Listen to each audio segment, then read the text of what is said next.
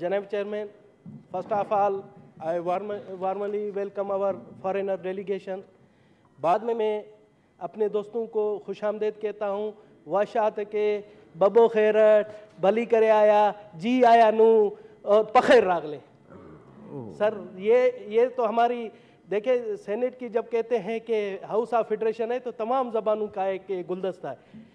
जनाब चेयरमैन मुझे खुशी हो रही है आज यहाँ खिताब करते हुए कि 50 साल तकरीबात मनाई जा रही है और मैं उम्मीद करता हूँ जब ये हमारी डायमंड जूब डायमंड जुबली होगी 75 साल शायद हम में से कोई यहाँ ना हो।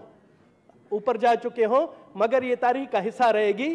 तो हाँ, बैठे बहुत से दोस्त हैं। बिल्कुल जी और मैं चाहता हूँ कि इस इस ज, जिस अंदाज से आपने ये तारीखी मौका दिया है तो इसके लिए मैं आपको खराज अकीदत पेश करता हूँ कि ये senate of Pakistan federation of Pakistan पूरे मुल्क का एक गुलदस्ता है और जिस तरह से आपने फूल सजाए हुए हैं वैसे ही ये फूलों का एक मजमू है और उस फूलों में आप गुलाब के फूल हैं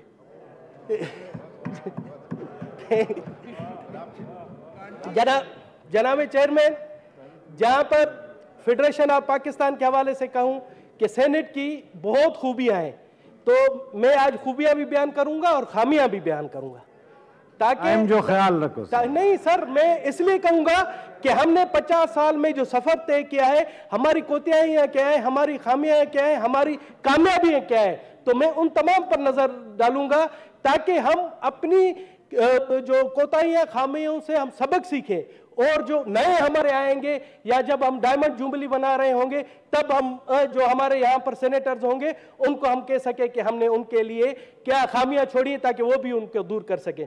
जनाब चेयरमैन सबसे बहसीत अकलीती मेंबर गैर मुस्लिम मेंबर मुझे खुशी होती है, और मैं दाद देता हूँ जब अठारहवीं तरमीम मंजूर हुई और अठारहवीं तरमीम में अकलीतों के लिए यह सीटें रिज़र्व रखी गई, जिसके लिए मैं तमाम पार्टियों का, खसूसी तौर पर पीपल्स पार्टी का शुक्रगुजार हूँ कि उन्होंने हमें यह नुमाइंदगी का हक दिया। सबसे पहले ये मेरी दिल की है कि आज मैं यहाँ पर हूँ, गुरदीप सिंह है हमारे, यहाँ पर जितने हमें हमारे आप देखें कि यहाँ पर आपको मुस्लिम के साथ हिंदू भी मिलेंगे, सिख भी मिलेंगे, क्रिश्चियन भी मिलेंगे। ये एक खूबसूरत गुलदस्ता है, ये अकवा मुतहदा की तरह ये हमारा सेनेट का हाल है कि यहाँ पर हर मज़हब के लोगों की नुमाइंदगी है। जनाब चेयरमैन जनाब चेयरमैन, बहुत सी खसूसियात है। जब आपने भी कहा कि जी जब देखा गया ढाका के फाल के बाद ये महसूस किया गया 1971 के बाद जब 1973 का कानून आया, ये महसूस किया गया कि सूबों के दरमियान अदम मसावत को ख़त्म करने के लिए सेनेट का वजूद आया। उस टाइम सेनेट सेनेट के हवाले से एक बहुत ही अच्छा जिसमें तमाम सूबों की नुमाइंदगी हो। मगर, मुझे अफसोस है थे बलोचिस्तानी, ये सेनेट में जिस तरह से हम बैठे हुए हैं, ये रबड़ स्टेम है, सर, ये रबड़ स्टेम है, हमें सिर्फ़ यूज़ किया जाता है यस और नो के लिए, हमें पता नहीं पड़ता कि क्या हो रहा है, क्या नहीं हो रहा।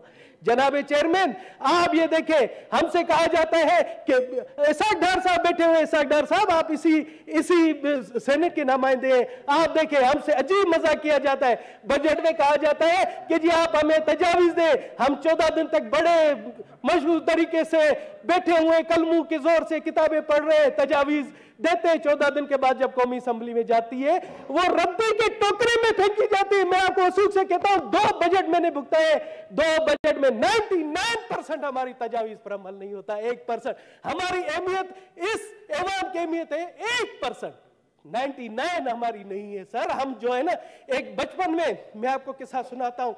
हम खेल खेला करते थे। भाई टाइम का सर सर मैं मेरे सुने आज ये यही तो सुने बैठे हुए बचपन में हम एक खेल खेलते थे। तो हमसे छोटे बच्चे आते थे तो हम ऐसे आँख लगा कर कहते थे कि यार ये गुड्डू गेड़ा है। इसको, इसकी जो भी ये करेगा, उसके नहीं चलेगी। हमारे साथ भी वही है। जो भी हम बातें करते हैं, अमल उस पर कुछ भी नहीं होता। हम अपने आप में खुश हैं कि हम ऐवान बाला है, मगर हम, हमें हमें इख्तियार नहीं, जनाब चेहर में अगर अगर इस मोजिज अवान को अदम मसावत के हवाले से आपने चेंज करना है। बलोचिस्तान के जो हालात है, जिस तरह से एतजाज हसन साहब ने कहा, बलोचिस्तान के हालात चेंज करने आपने फिनेंशियल से मज़बूत करना है। फिनेंस का देंगे। और मैं आपको बता दूँ कि हमारी कौमी असम्बली में नुमाइंदगी सोलह सोलह एम एन एज है और चार रिज़र्व सीटें 20 अब मुझे बताएँ 342 के ऐवान में सिर्फ़ 20 अरकान क्या करें?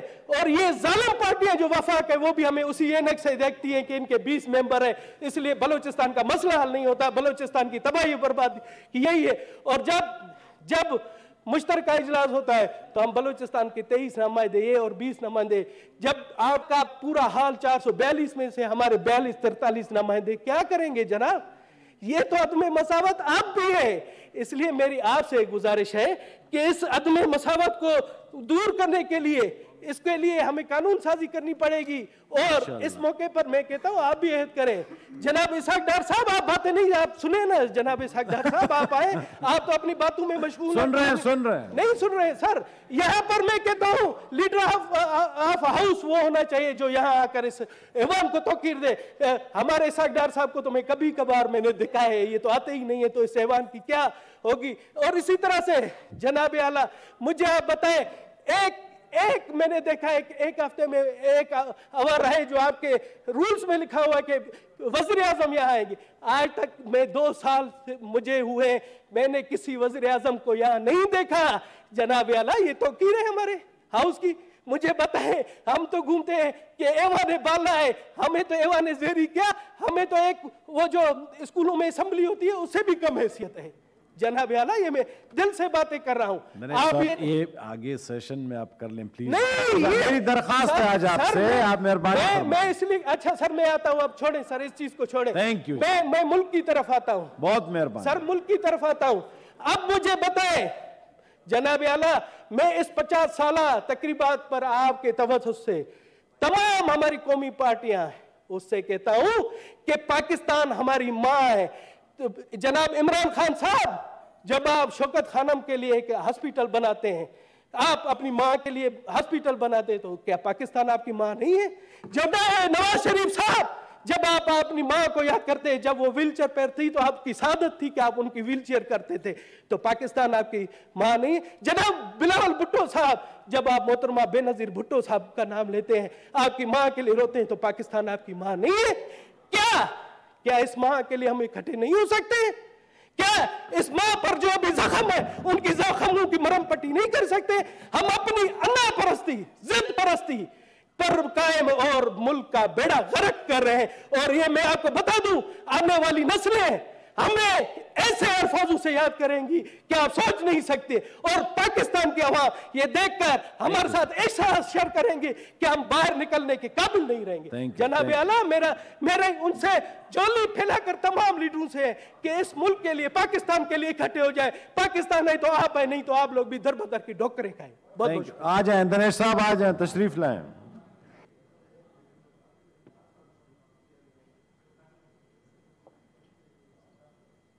आइए